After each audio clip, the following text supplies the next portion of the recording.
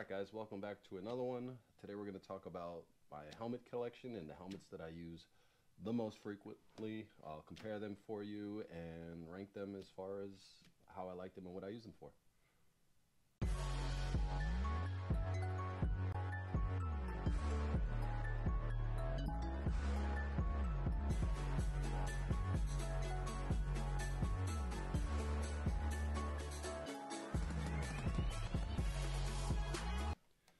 Guys, before we begin, I just want to say this is not an in-depth review of each helmet. It's just an overview of each of the ones that I use the most.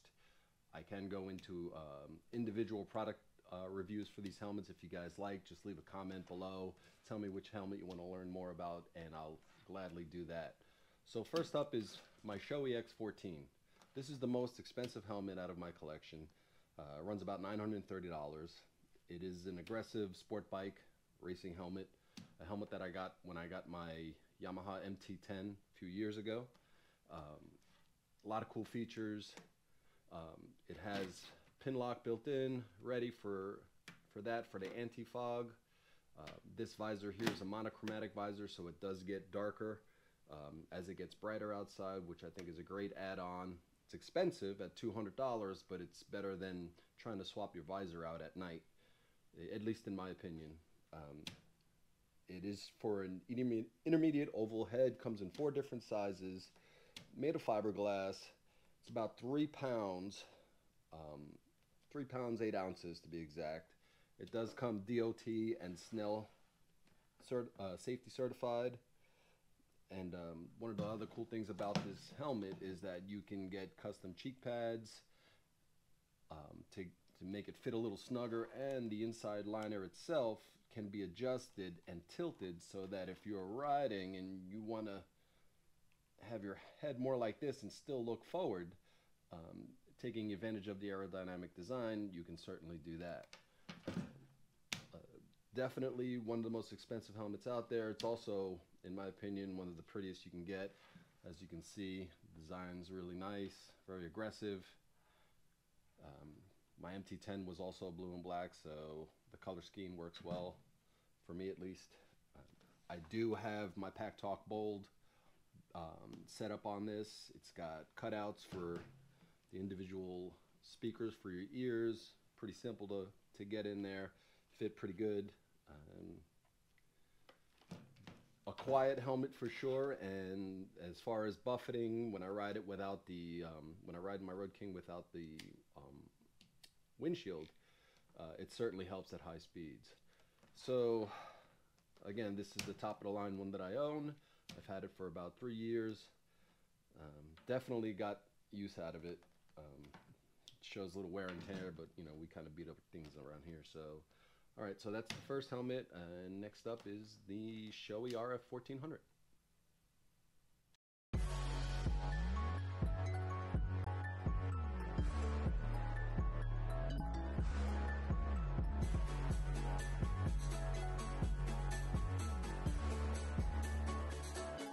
Next up is the Shoei RF 1400. Um, another helmet by Shoei. This helmet's significantly cheaper, priced at around $580. This is more of a cruising uh, helmet, I guess, if you will. Really good ventilation.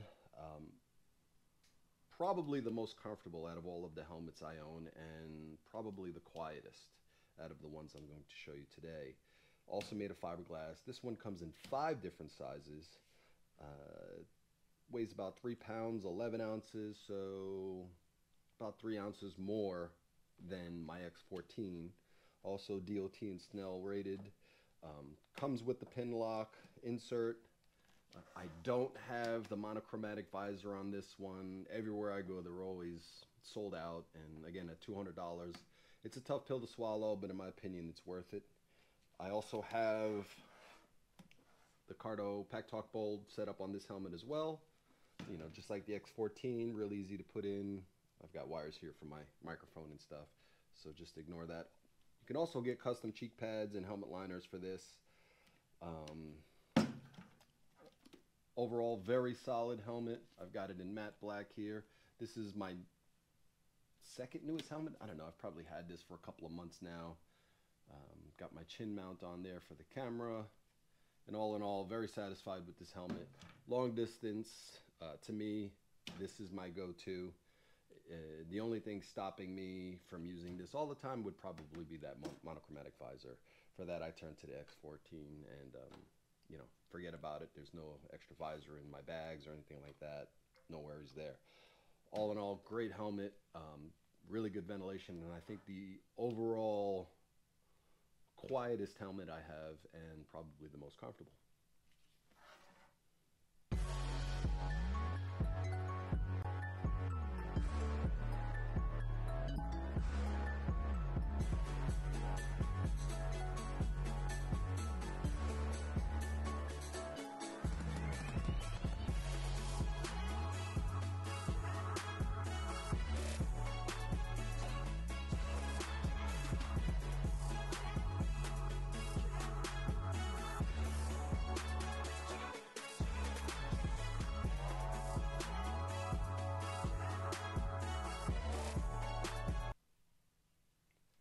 Next up is my modular helmet.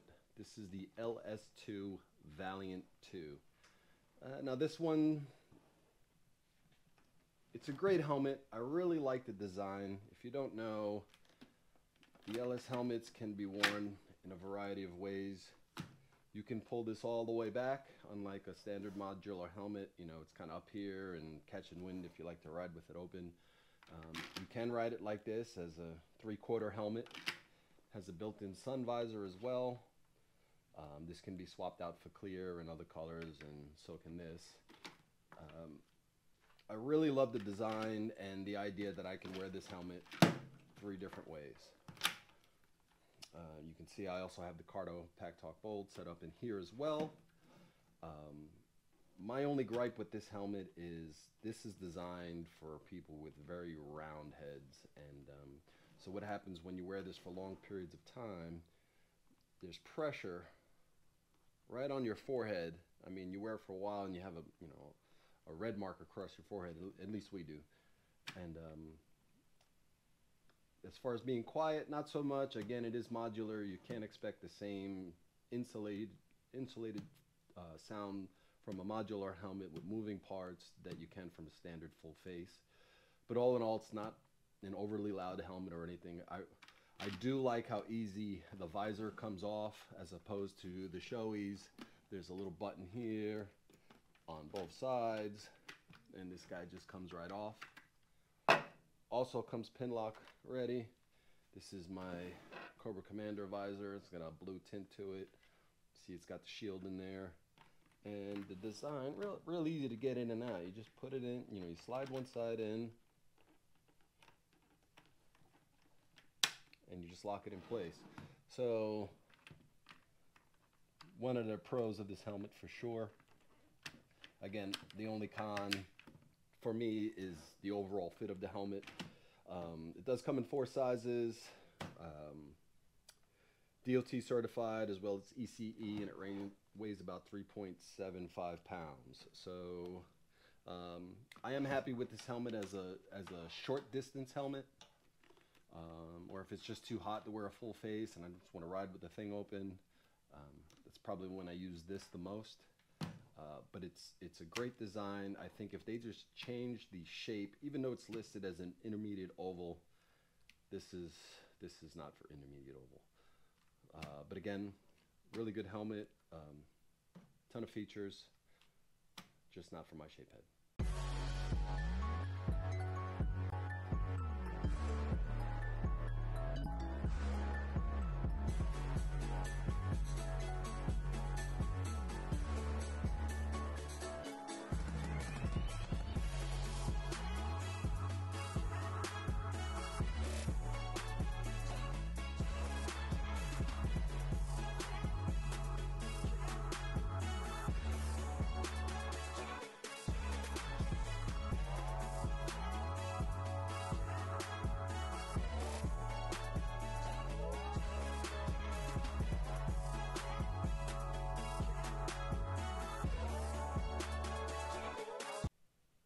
Last up is my newest helmet. This is the Scorpion Exo Covert. This is the older model. I got it for $200. I know there's a new model out there. Not a lot of differences. To my understanding, it's slightly lighter and they use a different composite for the shell itself. So for the purposes of saving $100, uh, I went with the older one. Uh, also, got the Cardo installed on this one. It doesn't list as you can do that, but um, I figured out a way to do it. I can talk about that more in a little bit here. Um, if you haven't seen these Stormtrooper style helmets, um, come with this drop down visor, which is actually really clear, and I'm really surprised by the field of view from side to side that you get. Push these little buttons here.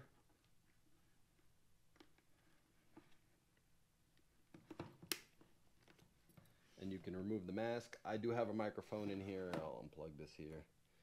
Um, you can wear it as a three quarter. Works good with goggles, eyeglasses. If you can see here, I snuck the Cardo headset right in here.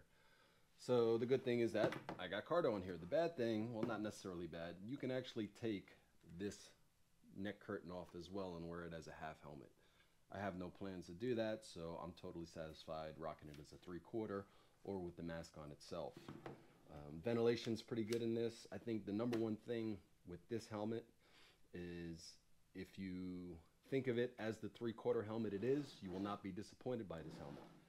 In my opinion, this is not a replacement for a full face helmet. But the mask works good, ventilation is good. Um, it's not too heavy or bulky. Uh, like I said, it runs about $200. Uh, comes in, um, I want to say five different sizes, weighs about three and a half pounds. Um, DOT certified. I think that's about it. Which is pretty good for a three quarter helmet.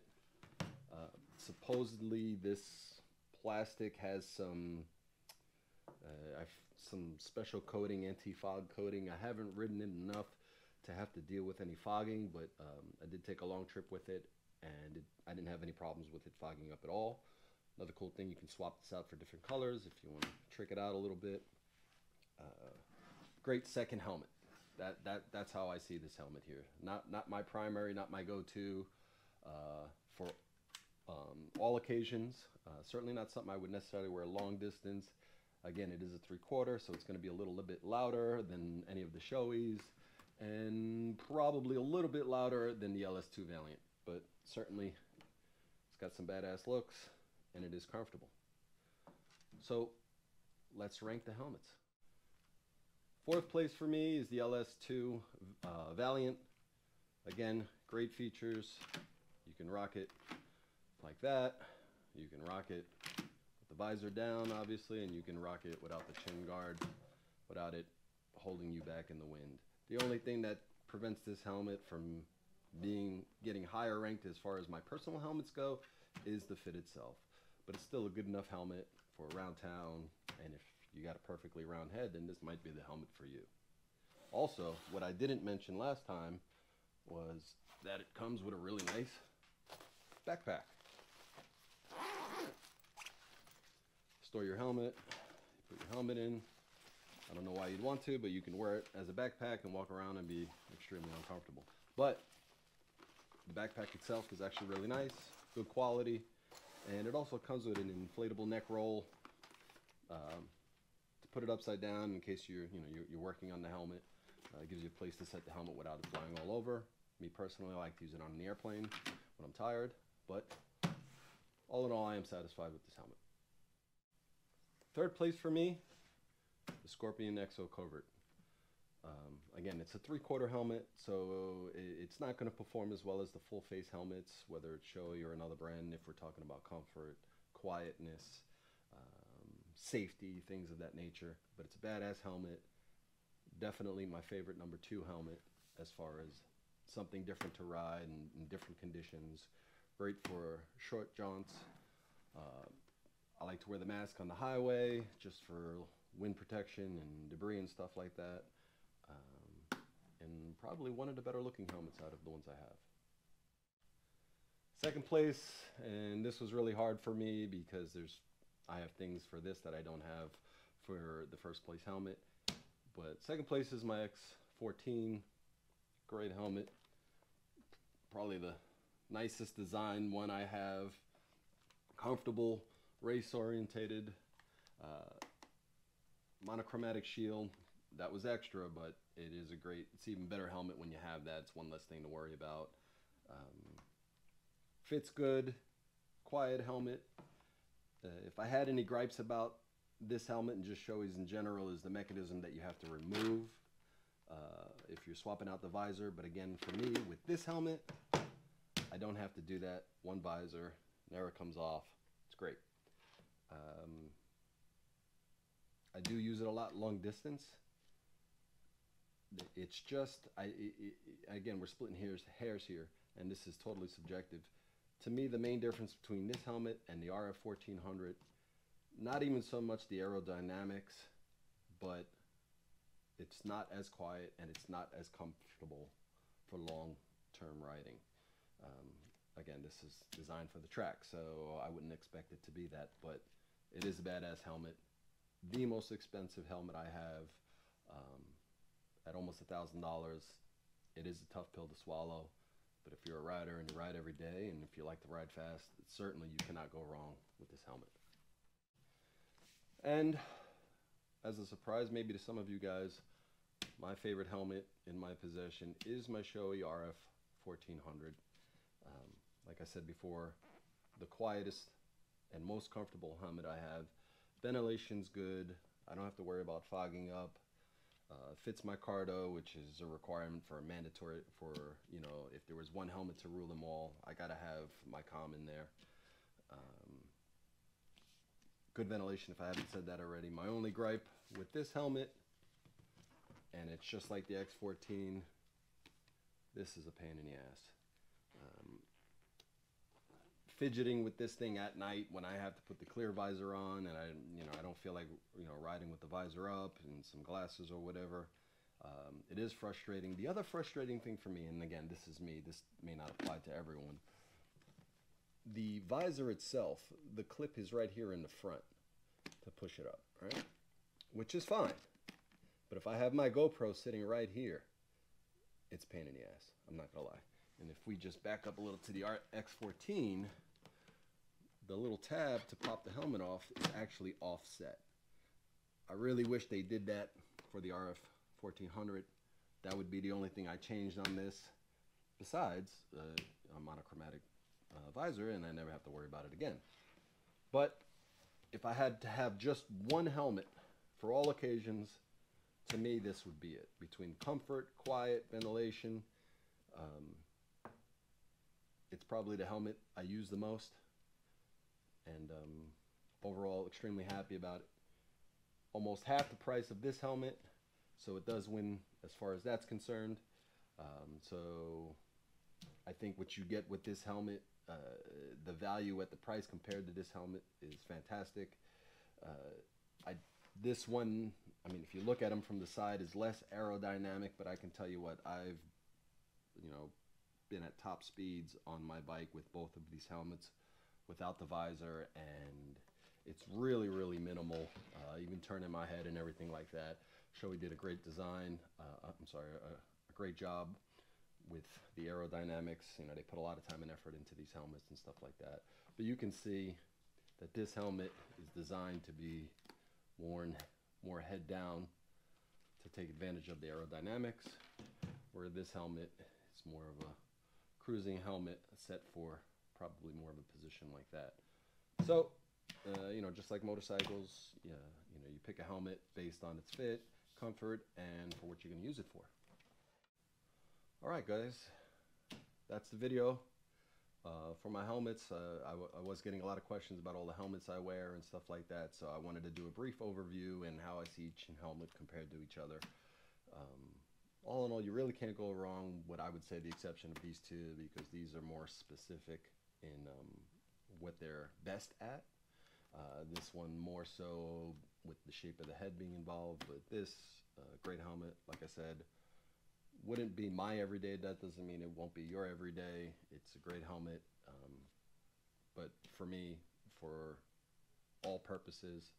I like my Shoei full faces. Um, not married to any brands or anything else like that. It's to me the uh, the fit, ventilation, and how quiet the helmet is is the most important to me. Um, so I go that, and then everything else is, um, you know, a compromise of some shape or form. I hope you like this video. If you'd like to see more videos like this, please like and subscribe. I'd love to hear from you guys what you want to see next. Leave a comment down below, and I'll see you guys next time.